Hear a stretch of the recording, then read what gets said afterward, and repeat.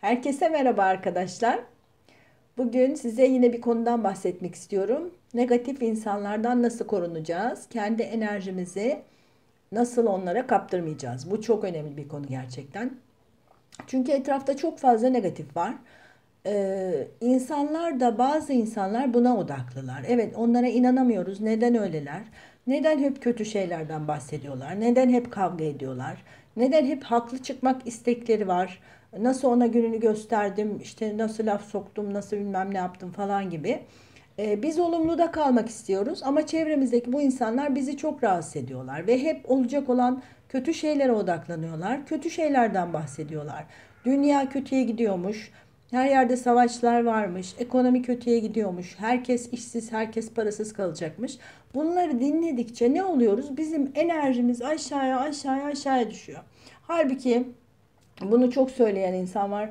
Özlem Hanım kendimle çalışıyorum. Çok güzel çalışmalar yapıyorum. Meditasyonlar yapıyorum. Kitaplar okuyorum. Kendimi olumlu da tutmak istiyorum. Hep buna gayret ediyorum. Sonra işte bir, bir gün bir teyzem arıyor, halam arıyor. Bir başlıyor konuşmaya. Benim bütün enerjim gidiyor. Ben bununla nasıl baş edeceğim bilemiyorum diyorlar.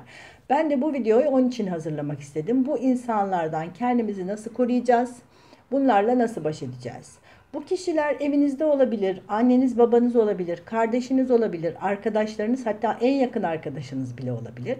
Önce bir kere kendi korkularımı aşacağım ve onlara bu olumsuz konuşmadan hoşlanmadığımı, bunun benim enerjimi aşağı düşürdüğünü söyleyeceğim. Bunu söylemekte bir mahsur yok. Bakın hep şöyle düşünüyorsunuz. İşte ayıp olur. Şimdi böyle söylersem bana kırılır e, üzülür. Halbuki üzülmek ve kırılmak da bir seçimdir. Bunu anlamanızı istiyorum. Siz söylersiniz karşıdaki eğer kendisi kırılmayı seçerse kırılabilir. Bunun altında çok enteresan bir şey var aslında onu da açıklayayım. Herkes hayatı kendi bilinçaltı kalıplarına göre yaşıyor. Yani o söylediğiniz kişinin altında, e, bilinç altında bir değersizlik duygusu varsa ya da bir sevilmeme korkusu varsa o zaman sizin söylediğinizden etkilenir. Şimdi bana gelin ben kendi üzerimde uzun yıllardır çalışıyorum ee, ve iyi bir noktaya geldim. İnsanlara da iyi bu geldiğim noktaya gelsinler diye bu videoları hazırlıyorum zaten. Bana gelin ne istiyorsanız söyleyin ben bundan etkilenmem arkadaşlar. Çünkü ben nötr bir alandayım ve bilinçaltımı Yıllarca temizleye temizleye artık pürü pak yaptım. Çok şükür. Şimdi karşınızdaki size herhangi bir tepki veriyorsa bu onun bilinçaltı kalıplarından kaynaklanıyor demektir. Yani bunun sizinle hiçbir alakası yok. Önce bunu anlayalım. Ben kendimi doğal şekilde olduğum gibi ve dürüstçe ifade edeceğim. Bunda hiçbir mahsur yok. Diyeceğim ki en yakın arkadaşım mı?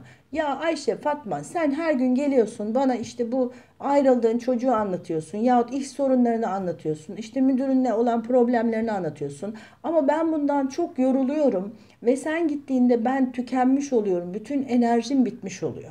Ve bundan artık etkilenmek istemiyorum. Lütfen bana bunları anlatma. Evet bozulacak, kırılacak diye düşünüyorsunuz. Ama ne oldu? Siz kendinize gelen enerjiyi, negatif enerjiyi bir sınır çizebildiniz. Sınırlarımızı çizmek çok önemli arkadaşlar. Şu anda kendi enerjim sadece bana yetiyor zaten. Ben, ben bu enerjiyi olumluya çevirmek için elimden geleni yapıyorum ve bu enerjimi korumak zorundayım. Bunu kendime borçluyum öyle düşünün. Yani karşıdakine ayıp olacak diye kendinize kötülük yapıyorsunuz. Bunu fark edin. Kendime kötülük yapmayacağım. Kendime çok iyi davranacağım. Çünkü hayattaki en önemli şey ben benim. Buradayım Kendime iyi bakmak zorundayım. Şimdi hayattaki en önemli şey benim dediğimde çok bencilce bir düşünce diye yargılanabilirsiniz. Ya da zihninizden bu geçebilir. Ne kadar bencilce konuşuyor. Böyle mi olmamız gerekiyor? Sadece nasıl en önemli şey ben olabilirim? Ama arkadaşlar önce kendimizi iyi etmek zorundayız. Önce ben demek zorundasınız. Önce diğer insanlar derseniz eğer hep onlar için yaşarsınız. Hep fedakarlık yaparsınız. Ve sonunda siz Pişman olacağınız bir noktaya gelirsiniz. Ben hep sizin için yaşadım. Hep fedakarlık yaptım. Hep nasıl istiyorsanız öyle davrandım. Dertlerinizi dinledim. Şimdi ben neredeyim? Yerin dibinde. Perperişan ve ıı, kendimi, sınırlarımı koruyamamışım. Enerjim didiklenmiş. Ben de negatife kapılmışım. Ben de korkulara kapılmışım. Bu çok daha iyi mi? Halbuki önce ben dediğimde, ben önemliyim dediğimde, sınırlarımı çizmeyi öğrendiğimde lütfen bana bunlardan bahsetmeyin. Bunlar beni kötü etkileniyor. Güzel şeyler konuşalım. Bakın eskilerin çok güzel bir lafı var. Çağırma derler. Bahsedip de kötü şeyi çağırma derler. Bunu hatırlatabilirsiniz. Boş ver şimdi çağırmayalım işte. Bak ay her tarafta işte kötü bu ne diyorlar? Chemtrailer atıyorlarmış da işte herkes hasta olacakmış da falan. Çağırmayın kötü şeyi odaklandığımız şeyi hayatımızda yaratıyoruz, büyütüyoruz. Bunu hep aklınızda tutun. Bu insanlara bunu söyleyeceğiz. Ama diyelim ki söyleyemeyeceğimiz bir topluluk içerisindeyiz. Ee, bir arkadaş toplantısına gittik. Orada bir şey olumsuz bir şeyler konuşmaya başladılar ve biz kalkıp kaçamayacağımız bir pozisyondayız. O zaman bu enerjinin bize geçmemesi için yapabileceğimiz çok kolay şeyler var. Önce bacak bacak üstüne atacaksınız. Bu zaten karşıdaki enerjinin size e, kısmi de olsa gelişini engeller. Sonra kollarınızı birbirinize bağlayacaksınız. Bu da karşıdaki enerjiye kendimi kapattım ve enerji bana gelmiyor demektir. Ama e, yine de hala çok etkileniyorsunuz. O zaman yapabileceğimiz başka ve çok kıymetli bir şey var göbek deliğimizi kapatacağız. Tek elimizle karşıdaki anneniz mi konuşuyor, kardeşiniz mi konuşuyor ya da e, bir tanıdık telefon açtı, telefonda kötü şeyler anlatıyor. Kendi başına gelmiş, komşusunun başına gelmiş ve siz baktınız hemen hissettiniz ki o kötü etkilenmeye başladınız. Hemen elinizle göbek deliğinizi kapatıyorsunuz ve o an fark edeceksiniz e, artık o enerji sizi hiç etkilemiyor olacak. Bunu aynı zamanda televizyon izlerken de yapabilirsiniz. Özellikle televizyonda izlemeyin izlemeyin diyorum kaç senedir. E, benim evimde televizyon yok çok şükürler olsun 10 seneyi geçti galiba. E, açtığınız anda bazen bir arkadaşın evine gidiyorum bir bakıyorum ki oradan müthiş bir e, bilinçaltına kötü şeyler pompalanıyor sürekli olarak, sürekli olarak kötü haberler, insanların kötü olduğu, vahşet, birbirlerini öldürdükleri, birbirlerine yardım etmedikleri. Kötü bir dünyada yaşamıyoruz arkadaşlar. Güzel bir dünyada yaşıyoruz ve bu dünyayı çok daha güzel hale hep birlikte getireceğiz. Birlikte güzel şeylere odaklanarak getireceğiz. Ama bunu yapabilmemiz için ilk önce yapmam gereken şey kendi enerjimi yüksek tutmak. Ben iyi olduğumda etrafımdaki herkese yardım edebilirim. Herkesi pozitife çekebilirim. Herkesi daha iyi etkileyebilirim. Bakın bir kişinin pozitif olan aurası etraftaki 80 kişiyi etkiler. Hepimizin enerji alanlarımız var. Bunu artık bilim tespit etti, görüntüledi.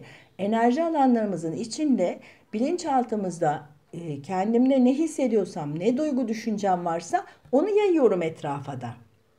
Düşünsenize şimdi olumsuz bir insan bütün etrafa olumsuz bir enerji yayıyor. Bunu zaten hissederiz. Aslında sezgilerimiz çok açık. Şimdi işte bu üçüncü göz açma, duru görü çalışmaları, sezgi açma çalışmaları e, hepsi herkes çok büyük bir gayret içinde ve ben buna çok çok seviniyorum. Ama bu zaten bizim içimizde var. Sadece bunu hatırlamamız gerekiyor.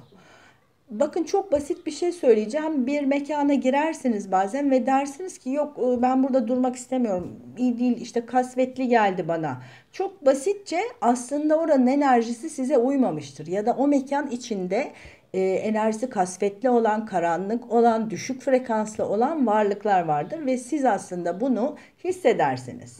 Ama bunu bu şekilde söylemezsiniz de buradan çıkalım, sevmedim burayı, istemiyorum, ee, işte karanlık geldiği gibi şeyler söylersiniz. Zaten hepimizin içinde var olan sezgiler. Şimdi bu insanlardan bacaklarımızı çapraz yaptık, kollarımızı çapraz yaptık, daha da olmadı göbek deliğimizi kapattık. Ama bazen de öyle kişiler var ki e, çok e, dersiniz ki onun çok nazarı değiyor. O evime her geldiğinde bir şey kırılıyor. İşte e, hiç iyi bir gözle bakmıyor, hep kem gözle bakıyor, her şeyimi kıskanıyor. Böyle insanlar da var. Evet. O zaman bu tarz bir insanla karşılaştığınızda yapabileceğiniz bir tiyo vereceğim şimdi size. O size bir şey anlatırken sol gözüne bakarak dinleyin. Bu çok önemli. Çünkü enerji sağ gözden birbirine akar. Onun sol gözüne baktığınızda o sizi etkileyemeyecek. Negatif enerjisi size geçmeyecek. Bu arada e, bu göbek deliği kapatmak meselesini söylediğimde e, diyorlar ki işte nasıl yapacağız Özlem Hanım ne, ne yapıyorsun falan diyecekler. Ama bunu çaktırmadan yapmanın bir yöntemini bulabilirsiniz artık e, diye düşünüyorum. Bu üç yöntem tekrar bir özet yapayım size. E, bacakları bağlamak, kolları çapraz yapmak, göbek deliğini kapatmak, sol göze bakmak. Hepsi çok çok faydalı. Bu negatif enerjiden e, uzak durmanız için, onu alanınıza sokmamanız için. Ama diyelim ki bunları yapmayı unuttunuz, eve geldiniz ve kendinizi çok kötü hissediyorsunuz. E, bundan önceki videolardan birinde tuz banyosu ve topraklanma anlatmıştım. O videoyu açıp dinlemenizi tavsiye ediyorum. O da çok iyi gelir. Artı bir yöntem daha söylemek istiyorum. E, kendi bedeninizi süpürebilirsiniz. Bunun için herhangi bir enerji çalışmasına katılmış olmanıza gerek yok. Zaten şu anda enerjiler o kadar güzel yağıyor ki bütün evrene. Hepimizin enerjisi gitgide yükselmekte. Dolayısıyla üstünüzü aynen bir süpürgeyle süpürür gibi düşünün ve elinizle buradan başlayarak böyle suya atacaksınız bunu. Ee, bir kaseye su koyup süpürdüğünüz enerjiyi o suya atın. O suya atın. Üstünüzü süpürün. Ayaklarınıza kadar devam edin. Ayaklarınızdan da alıp suya atın. Sonra da o suyu götürüp dökün. Ama ay su bulamadım, dışarıdayım, şuradayım, buradayım derseniz şimdi spiritüel alanda düşündüğüm şey düşündüğüm anda gerçekleşir. O zaman orada bir kova su hayal ediyorum. Ve enerjimi süpürüyorum. O hayal ettiğim kovanın içine atıyorum. Böylece negatif enerjiden kurtuluyorum. Dilerim hayatınıza katkısı olan bir video olmuştur. Herkese çok teşekkür ediyorum. Bir dahaki videoda görüşmek üzere. Sevgide kalın, sevgiyle kalın.